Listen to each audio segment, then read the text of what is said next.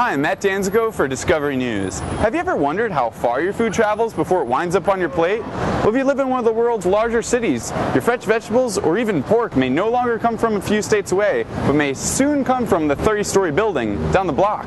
This is Columbia University professor Dickson Despommier.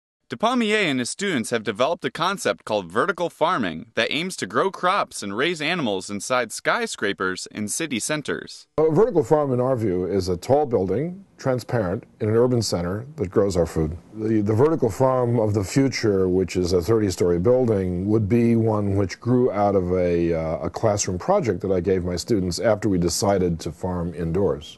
So uh, I asked them how many stories high and how large a building would you have to build in order to feed 50,000 people a year? And they came back to me and said, it's 30 stories high, and it's a full city block, which is five acres of land. Through hydroponics, a solution based method of growing crops without soil, and by decreasing the distance between producer and consumer, Despommier believes vertical farming could significantly reduce our dependence on fossil fuels.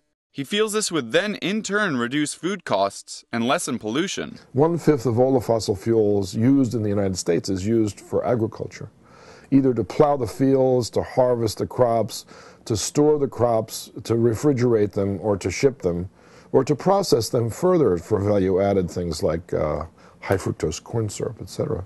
So fossil fuels plays a huge role in normal agriculture. It will not play any role whatsoever in urban vertical farming. None.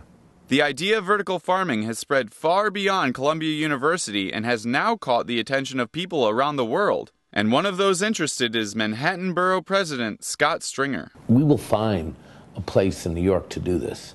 I still marvel when people 20 years ago, when developers in New York said, We're going to build a green building with solar energy and cogeneration.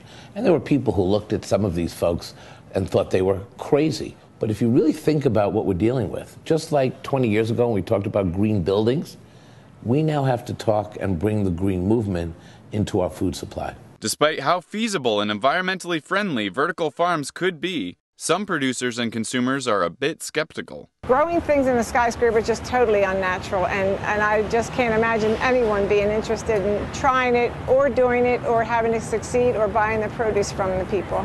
I'm kind of, I have a twisted uh, opinion to that because I feel like vertical farming would be good, of course, for global warming and everything that's going on now with the environment.